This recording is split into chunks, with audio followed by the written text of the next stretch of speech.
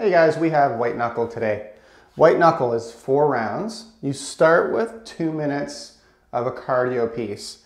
Uh, that cardio piece, guys, if you're gonna run, just do 400 meters. You should be able to finish whatever you're doing, bike, row, skip, whatever you're doing at home in about a minute 45 so that you can roll into the next station and get ready to start right away on max pull-ups for a minute if you don't have the option to do pull-ups, we could do a TRX row if you have that, or if you don't have um, you know, a setup for pull-ups or for rowing, we can just do a bent over row, odd object, or with dumbbells. Uh, from there, we're gonna do a minute of dumbbell power cleans and then a minute of dumbbell push press. If you only have one set of dumbbells, guys, like one dumbbell, sorry, you're just gonna alternate arms as desired. The total score for the pull-up station, the clean station, and the push press station is uh, reps, and you're gonna accumulate reps over the four rounds, and that would be your score. There's a Tabata finisher today. It's 16 sets, so eight rounds of each of these couplets,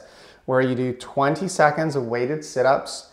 Then you, at the 10 second rest where we would normally rest, we're not resting today. We're actually gonna stop doing the weighted sit-ups and do a hollow body hold. We then switch gears and do 20 seconds of weighted hip bridge, which you'll see a video in TrueCoach.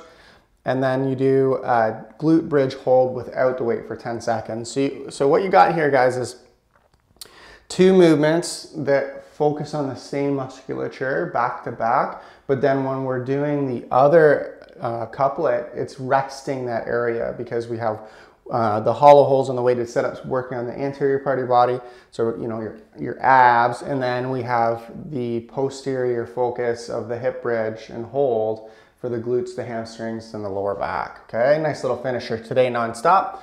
Uh, the warm-up today has us doing eight minutes, so we're rolling through each one of one, these one-minute stations. You do a minute of cardio, whatever we're going to be doing for the workout. You do a hip bridge, cardio, single leg hip bridge, cardio, glute bridge walkouts, cardio, and then dive bombers, okay? Which obviously is getting us focused not only for the work in white knuckles, but we're also already ready to rock and have worked on our glutes and hamstrings for that finisher. Have fun.